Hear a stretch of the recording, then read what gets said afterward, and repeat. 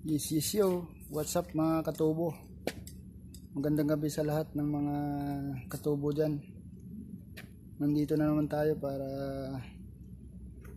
tuklasin ang bagong kaalaman no? tungkol sa nung una ko kasing ginawang video ano po yun naisip ko kasi English kasi para malaman din ng ibang mga katubo ng mga ibang lahi pero parang mas maganda kung Tagalog na lang kasi medyo hindi tayo magal magaling sa English eh. Ngayon ipapakita ko sa inyo yung kung paano isi-set up yung flashing. Bali ganito pa ring area. Hindi kasi tayo pwedeng mag actual ngayon ng ano yung pagkarga at saka pag bawas ng tubig kasi nga may chemical ito ngayon kaya magre-recycle lang muna tayo bali ganito lang yan mga katubo Depende sa laki ng tubo na lilinisin nyo. Kasi itong tubo na nililinis ko ngayon, maliit lang siya, 4 inch lang siya. Kaya yung makina, ang motor na ginamit namin, maliit lang din siya. Saka yung advisable pala na motor na gagamitin nyo, ano siya, centrifugal type para yung malakas yung paghatak ng tubig yung malakas yung ano niya yung recycle bali yung nililinis natin tubo chiller line ito yung nagsusupply sa mga EHO machine para lumamig yung ano yung duct, duct air. Magsusupply sa building malamig siya. Hanggang ano siya? Tatlong palapag. Nandun yung dalawang air handling unit yung AHU sa taas. Bali yung tubo na yan nasa riser area at sa ground floor. Yan yung nililinis namin ngayon so ito yung setup nya no?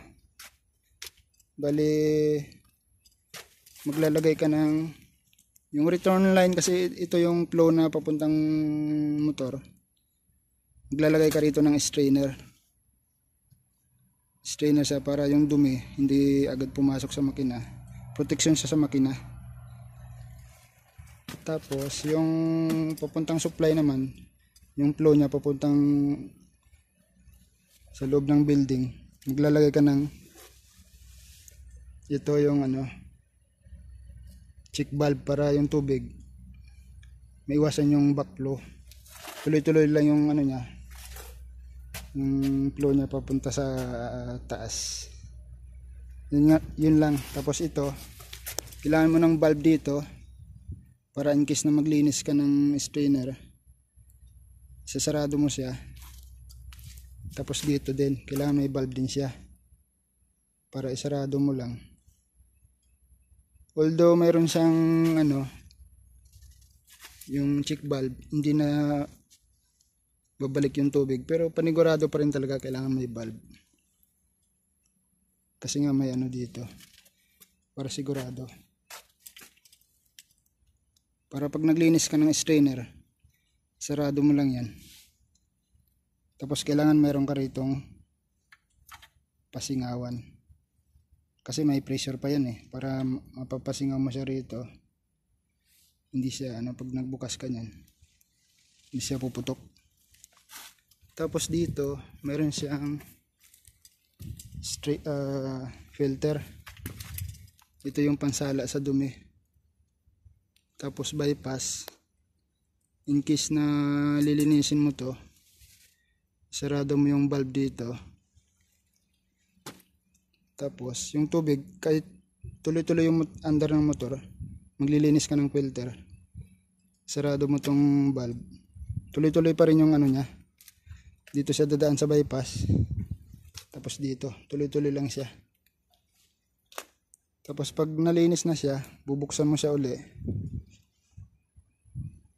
pero yung bypass niya kailangan nakabukas din siya kasi nga yung filter na to pag sinarado mo yung bypass Kasi yung pil, ah, is- filter na to, yung parang ano siya eh, parang tila sa loob.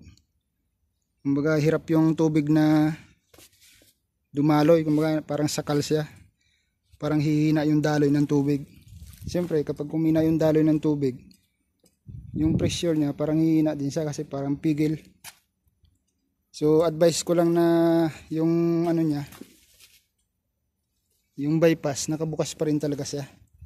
Para yung flow ng tubig, mabilis pa rin siya. Para yung ano niya, yung yung capacity niya na yung daloy malakas. Para yung tubo na nililinis, recycle sa ikot ng ikot. Malakas yung agos niya. Parang katulad lang yan sa ano, 'di ba yung sa ilog, 'di ba? Pag malakas yung agos, yung tubig ma- madaling malinis. Pero pag bumagal yung agos niya, yun na, matagal din siyang malinis kasi nga mabagal yung agos. Yung parang sa bukana ng ilog, di ba? Pansinin mo yung bukana ng ilog, yung malapit sa may boundary ng dagat. Meron na siyang ano, di ba? Yung malabo na yung tubig. Pero yung sa mga ano, yung sa malakas ang agos, bandang bundok, malinaw yung tubig kasi nga mabilis yung agos. Ganito rin yan yung paglilinis ng tubo. Parang maihambing mo rin. Kapag yung daloy ng tubig ma- mabilis, ibig sabihin, madali siyang malinis. Kaya yung mga tendency na para makahina sa daloy, kailangan gawan mo ng paraan yan. Katulad dito, mayroon nilagyan ng ano rito, ngayon filter. Siyempre parang pigil yung ano ng tubig niya kasi parang tila siya eh. Kumbaga maliit lang siya yung tubig, parang napi, napipigil siya na dumaloy dito. Kasi dati yun ang ginagawa namin eh. Sinasarado namin to para yung dumi sala talaga sa dito sa may filter. Kaya lang mabagal siyang luminaw kasi nga dito sa ano yung daloy niya parang humina din.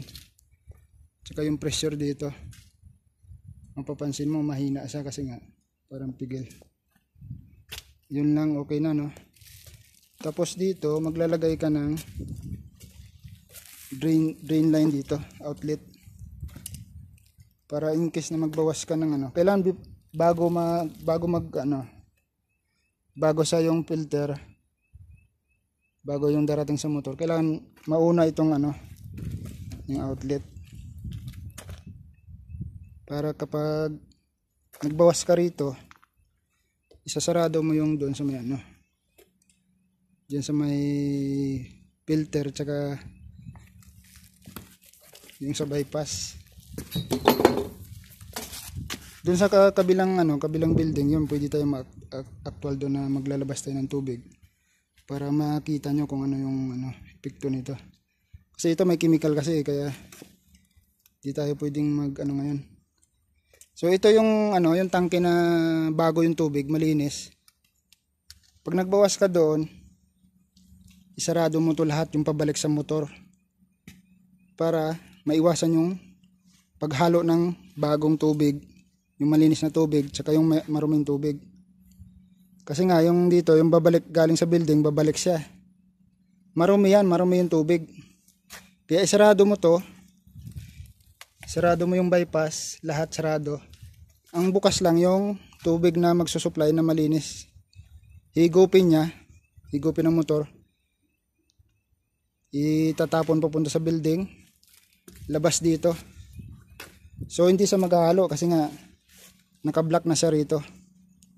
Kasi nung unang grupo kasi hindi kasi dito sa tatlong rotonda ako yung nag flashing dito eh mabilis naming napalinaw yung ano yung tubig dito. Magtaka nga yung forma namin.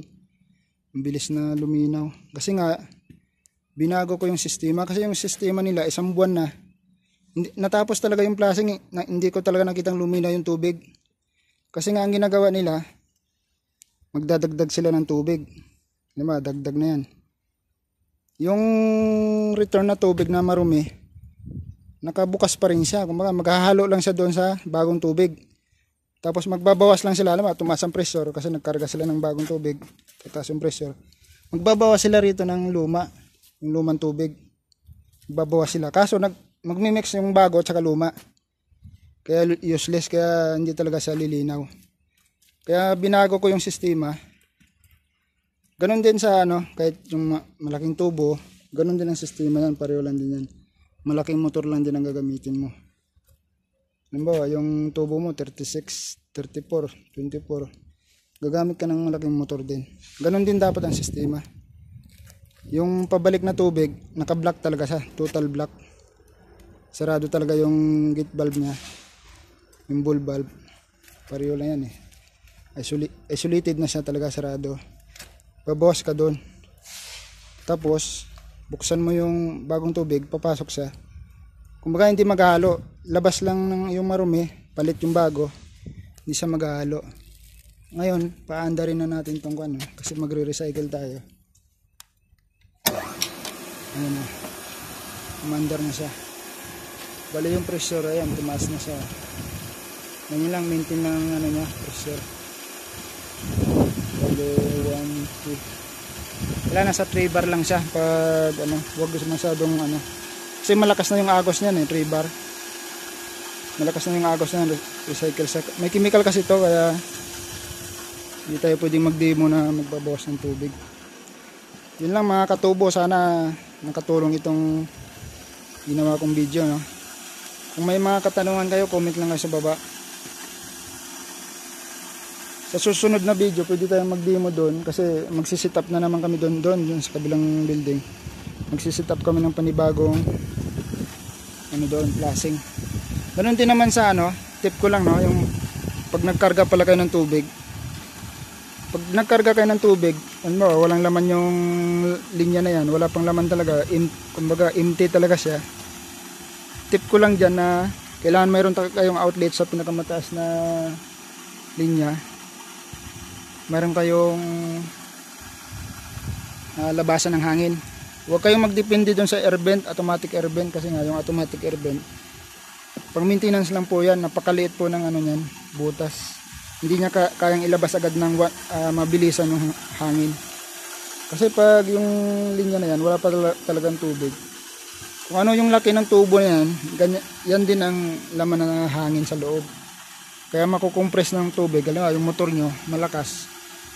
Mabilis yung ano niya, yung 1 seconds niya, ba, 1 seconds, 10 liter yung pasok ng tubig. Siyempre, mabilis mapupuno yung tubo na yan. Siyempre, yung hangin, hindi agad mailalabas dun sa automatic vent na in-install nyo. Kailangan talaga, advice ko lang, maglagay kayo ng ah, hiwalay na outlet na may bulb lang siya. Halimbawa, 1 inch. Imamanual nyo lang siya, nakabukas. Para yung hangin, mabilis na lumabas. Hindi siya, ano, ma- madaling makalabas yung hangin. Tapos pag nag-overflow na sa, halimbawa, overflow na, lumabas na yung tubig, yun, sasara nyo niya yun.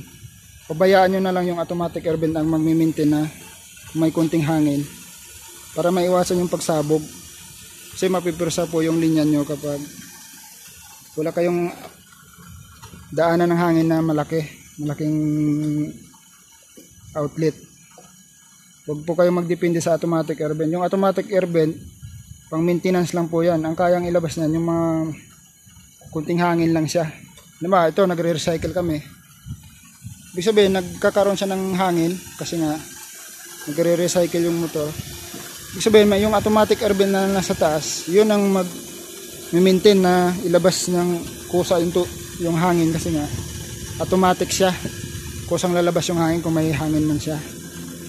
Pero kung magkakarga pa lang kayo ng tubig, advice ko lang kasi nung unang ano kasi hindi naman ako nakikialam kasi sinasabi ko. Pero sinasabihan ko na ganitong proseso kaso siyempre may mga ma- mataas sa amin eh. Ayaw sumunod. Kaya yun, ilang beses kami nasabugan. Kaya yung mga sinasabi ko sa kanila, tama yung mga sinabi ko. Hindi, hindi ako nagkamali. Nasasabog talaga yan. Kasi nga, naranasan ko rin yan sa ibang area. Na kapag karga na rin ako ng tubig sa mga ganyan, nag-hydro test. Mga may konti tayong kaalaman na natutunan doon kung paano maiwasan yung pagsabog. Yun lang mga katubo hanggang sa muli sa yung mga bago pala dyan na dito sa channel na to mag-subscribe na lang kayo dyan Para kapag may bago akong upload tungkol sa ganitong trabaho, madali yung malalaman na may bago akong upload. Tsaka yung napag-isipan ko rin, yung marami akong gustong i-ano dyan, i-share yung mga nalalaman ko dyan. Yung katulad sa pag, yung connection sa HU, yung mga katubo natin dyan na bago pa lang na-encounter nila. Basta yung mga sa chi- chilled water ah. Yung sa chilled water lang kasi eh, yung mga trabaho namin ngayon eh. May, may karanasan na rin ako sa ano sa refinery pero siyempre iba ka, halos paras din yan, paras tubo pero magkaiba kasi ang ano nito eh kasi ang dumadaan dito sa linya na to yung sa chilled water tubig. Sa refinery kasi mga gas yun. Kaya medyo mahigpit ang standard. Dito hindi naman gaano mahigpit pero basta may quality lang okay na. Sige mga katubo ha. hanggang dito na nagtatapos yung demo natin ha hanggang sa susunod na video babu